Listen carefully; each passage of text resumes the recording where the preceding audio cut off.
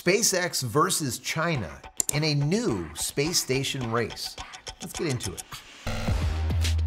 Hey everybody, welcome back to the channel. Thank you so much once again joining me for tea time. We're coming to the very end of some fireside. I hope you're joining me for your cup of tea, maybe a cup of coffee, hanging out, talking tech, space, SpaceX, a little bit of Linux here and there. Today is a SpaceX day. We're not talking about Starlink, that much. It's going to be all about SpaceX and what they're doing when it comes to the ISS. The ISS is getting close to end of life. So what happens now when we no longer have it? Well, what happens is commercial. Everything goes commercial, right? Money, money, money. That's how it goes. There'll be a lot of private companies getting involved, but what would that actually mean? Mean for development, for future of space? What does it mean for any type of technology, even when it comes to drugs? What does this mean? So I was reading an article. I want to go through some of it with you. I thought it was really interesting, and I thought maybe you guys would too. I'm going to go through it. I want to know your thoughts on it down below. I'll give you my thoughts, as I always do. But down below, I want to hear from you. What do you think about all this stuff? Um, is it something you're interested in? What do you think about what is happening with the ISS and the decommissioning that should be coming in the not so distant future? Once again, it is coming to an end, end of life when it comes to the ISS. It's been there for many, many years. The beauty of the ISS is that it's always been international. So it doesn't matter who you are and from what walk of life you come from, what nation, doesn't make any much of a difference. You can be there.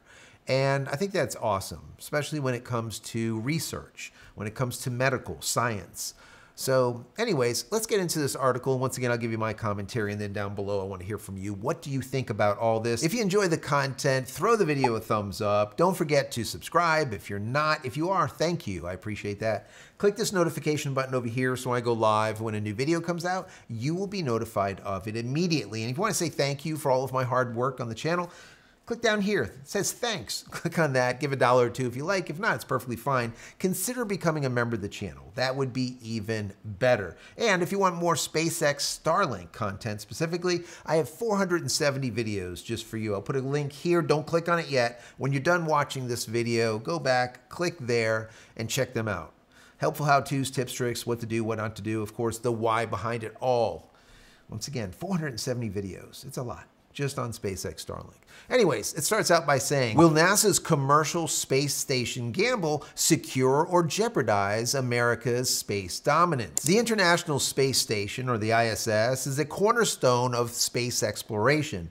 It's nearing the end of its operational life. NASA's ambitious plan to replace it with commercial space stations in low Earth orbit, or LEO, marks a pivotal shift in the space industry. However, this specialized companies and experts who have driven the ISS's groundbreaking microgravity experiments face an uncertain future. That is absolutely the case. If these implementation partners fail to navigate the transition to commercial platforms, their invaluable expertise and Americans' leadership in space could be at risk.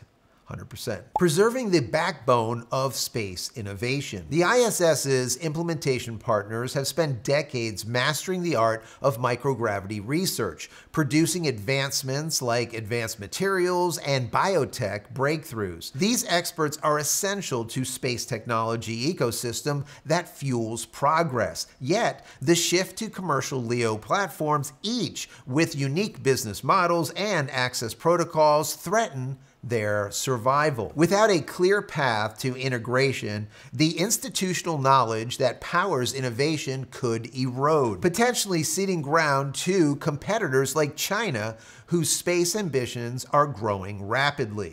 SpaceX's pivotal role SpaceX, a titan in the space industry, is already a key player in ISS operations, ferrying crew and cargo with unmatched reliability. As commercial platforms like Axiom Station or Blue Origin's Orbital Reef emerge, SpaceX's involvement could be transformative, whether through partnerships or even developing its own LEO infrastructure. NASA's Commercial Low Earth Orbit Destination, or CLD program aims to facilitate this transition, but its success hinges on ensuring that these partnerships remain viable. Economic geopolitical stakes. Beyond technology, the ISS ecosystem supports a supply chain that generates billions in economic activity and thousands of jobs across the U.S. A botched transition could destabilize regions depending on space related industries.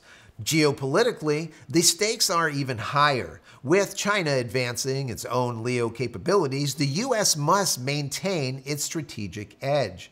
A robust commercial LEO ecosystem, LEO, once again, low Earth orbit, ecosystem is critical to sustaining America's leadership in the global space race, charting a collaborative path forward.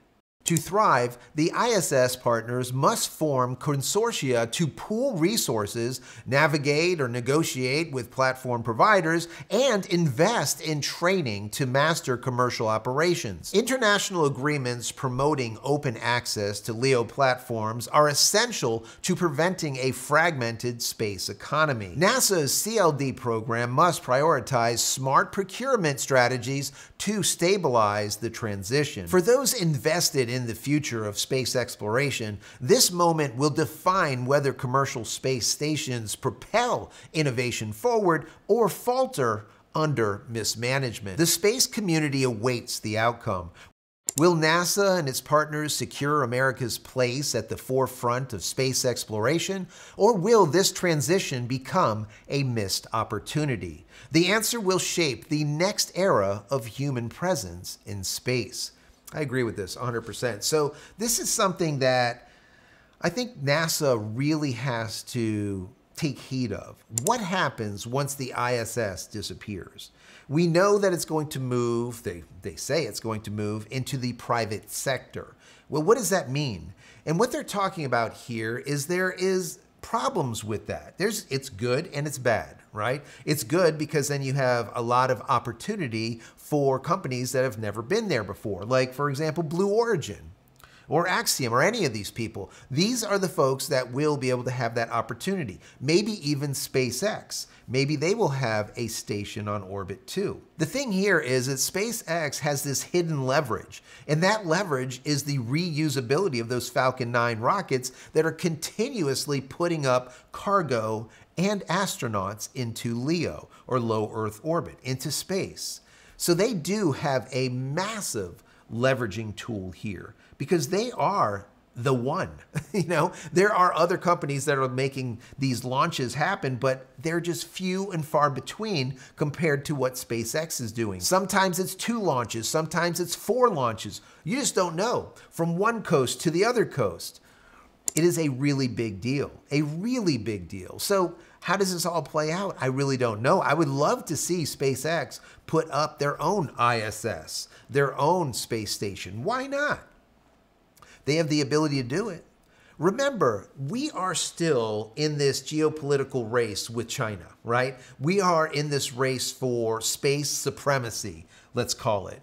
China, with their Tiangong, I think is the name of it, station over there, they're doing these LEO launches all the time also. So they are making or forcing NASA to fast track what is going on with these space stations or the future space stations. They have to really be cognizant of what China is doing. Now, is everything what they're doing, uh, let's say, roses or peaches and cream? It's not. They're blowing rockets up all the time, also, well, just like SpaceX is, but SpaceX has a Falcon 9 that is proven. Some of those Falcon 9 rockets have launched like 20 times plus already. That reusability is what makes SpaceX completely different than every other space company out there. Once again, like Blue Origin, like ULA, like just all of them. No one compares to SpaceX because of it. And, you know, we have to look at also the economy, right? The economics that are at risk here. Like they were talking about in this article, you're talking about billions and billions of dollars. You're talking about tens of thousands of people that are employed in the space industry or just the ISS alone. There is thousands of people that can potentially lose their jobs. This is definitely a job crisis of what's going on here. And they know it. But you can look at it another way. The ISS has been around for decades. So you're going to lose some jobs because eventually everything moves forward. So if people have jobs currently with the ISS, they should be able to get jobs with a private company because they have the knowledge that other people don't. And that's one of the things that they were talking about in this article. That procurement, that, that movement or that gaining of knowledge from the people that have been working on the ISS for decades. And to be able to now shuttle that to the private, you it's something that almost has to be done because if it's not, we're going to go backwards instead of forwards right? We're not going to be that superpower, that space supremacy that we currently have. China will take over for sure. So we need to somehow move that knowledge once again into the private sector. How is that done? Maybe it's just simply moving the jobs there. Or that consortium like they're talking about that that group that they build, let's say, of knowledge where everyone can now place that knowledge almost open source into a, let's call it a book, where all of the people will have the knowledge in the US of what has been done all this time. But remember, the only problem that I have with that is because the ISS is not just simply US. It is now a international spacecraft, right? Where internationally a lot of work is being done. Now, how much of that work is being shared between the US, between the Russians, between the Chinese? I don't know. But whatever isn't being shared definitely needs to be shared, in my personal opinion, with the private sector that's going to take over where the ISS left off. It's an issue. It is definitely an issue, and the private companies are going to have to figure it out. Like I said, is it going to be just simply the movement of the knowledge, the brains from that sector, from the NASA ISS, moving them into the private sector. Is that how it's going to happen? I don't know. I really don't know. Or is it going to be that big book, you know, where everyone just dumps their knowledge into it and they all can benefit from it? But something has to be done because you can't, once again, lose all that knowledge or we are not going to be able to stay on top. Because if that doesn't happen, like I said before, the Chinese will surpass us. Absolutely, undoubtedly. So, how does it all play out? What do you think they should do? What is the answer? What do you think is going to happen with all the people that lose their jobs from the ISS and everything behind the ISS? Remember, whenever you have a, let's say, a business we look at ISS as a business. There is a lot of people down the chain that will lose jobs that are supplying the ISS, that's doing work and research, and the, the entire chain will be gone. All right? It's going to then have to then move once again into the private sector. You know, so what ends up happening? What do you think? What do you think NASA should do about it? Do you think that Elon Musk and SpaceX should come up with their own ISS or their own space station? I personally think that they should. And the reason being is they have the facility to do it, number one. Number two, they have the means to be able to put the mass of cargo in space without a problem and do it in short order. Not even think about it. They can get all of the stuff that they need into orbit probably within a month and build another ISS or a bigger one, right? So they can do it. Should they do it or should they just be the facilitator of the rest of the small private companies that want to do this? What is the answer? I don't know. What say you? Down below, I'd love to hear your thoughts. Anyways, guys, if you enjoyed the video, throw it a thumbs up. That'd be awesome. I would really appreciate it. Don't forget to subscribe, as I said before, and share. And finally, head over to my website, jcristina.com, where you can find all of my merch, my tees, my shirts, my books. If there's something there that you like, pick it up. Help support me and my family. Many blessings to you and your family. Stay safe, stay healthy, stay connected, and we'll see you on the ISS. Take care, guys.